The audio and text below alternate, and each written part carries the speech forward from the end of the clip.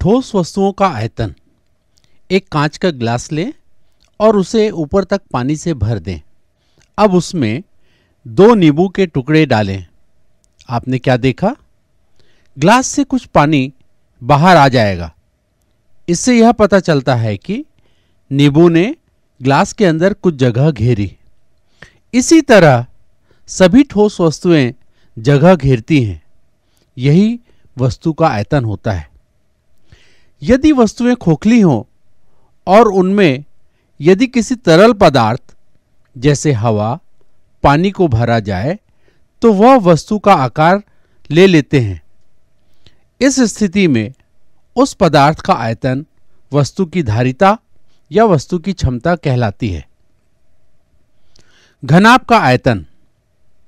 क्या किसी कमरे के अंदर रखी हुई अलमारी की तुलना में कमरे का आयतन अधिक है? या फिर आपके पेंसिल बॉक्स का आयतन, व इसके अंदर रखे पेंसिल और मिटाने वाले रबर के आयतन में से कौन अधिक है? क्या आप इसमें से किसी भी वस्तु का आयतन माप सकते हैं? हम किसी क्षेत्र का क्षेत्रफल ज्ञात करने के लिए वर्ग इकाई का उपयोग करते हैं। यहाँ हम ठोस का आयतन ज्ञात करने के लिए घन इकाई का उपयोग करेंगे, क्योंकि घन सबसे अधिक सुविधाजनक ठोस आकार है। क्षेत्रफल ज्ञात करने के लिए हम क्षेत्र को वर्ग इकाइयों में विभाजित करते हैं। इसी प्रकार, किसी ठोस का आयतन ज्ञात करने के लिए हमें उस ठोस को घन इकाइयों में विभाजित करने की आवश्यकता होती है।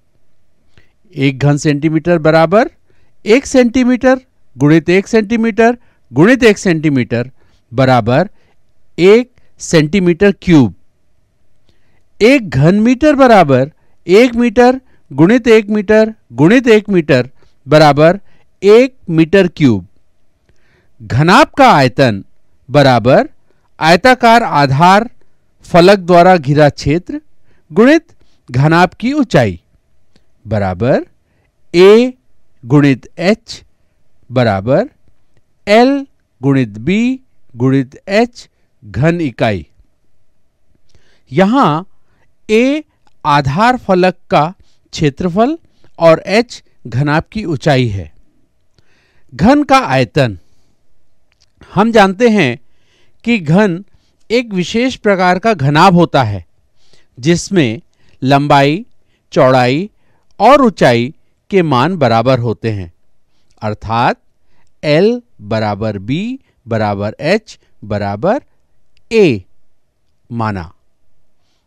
घन का आयतन बराबर भुजा गुणित भुजा गुणित भुजा बराबर ए गुणित ए गुणित ए बराबर ए क्यूब घन इकाई, जहाँ ए घन की भुजा है। ठोस वस्तु का आयतन ज्ञात करने के लिए घन इकाई का उपयोग सबसे अधिक सुविधाजनक है। आयतन में घन इकाई का अर्थ उसमें सम्मिलित इकाई लंबाई के घनों की संख्या से है।